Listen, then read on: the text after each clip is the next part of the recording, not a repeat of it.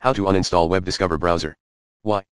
Possible reasons, corrupted client, unwanted installation, more, b. How? Solution number 1, perform the uninstallation process manually. Step 1, gain admin access.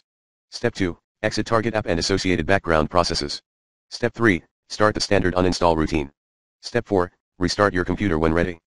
Step 5, clear related projects, such as Adobe Flash Player, or software remains. Follow me, exactly. See solution number 2, try the recommended uninstall tool pro in the description area, if this removal guide fails to work. Tip, please PM me if you need further assistance.